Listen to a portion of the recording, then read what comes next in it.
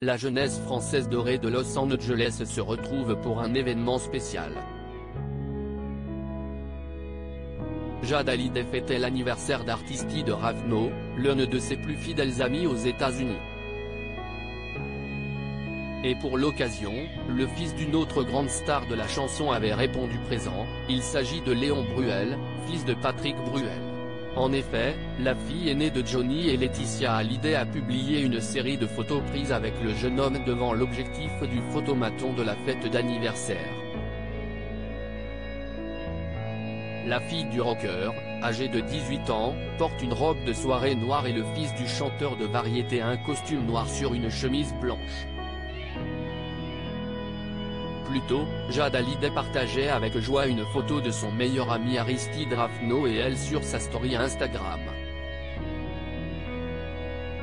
Le jeune homme, qui se fait discret, apparaît souvent sur ses réseaux sociaux, un ami de longue date, aux côtés duquel elle s'affiche fièrement. J'ai la meilleure chance de t'avoir dans ma vie, a tendrement déclaré la sœur de Joe Hallyday. Cet été, CIST avec la fille de Calogero que Jade se baignait dans les eaux azur de Saint-Barth. Une vie en Amérique pour les fils de Patrick Bruel Patrick Bruel a deux fils, Oscar et Léon. L'aîné a 19 ans, le cadet 17 ans. CIST avec son ex-femme Amanda Sters que le chanteur a eu ses enfants. En 2007, leur divorce était prononcé et ses enfants partaient avec leur mère quelques années plus tard, en 2015, vivre aux États-Unis. Aujourd'hui, Patrick Bruel multiplie les allers-retours pour leur rendre visite.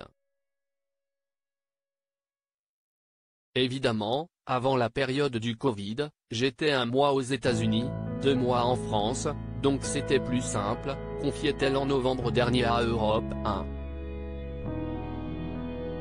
Là, ça s'est un petit peu bousculé, si est un petit peu différent, mais eux aussi viennent pas mal.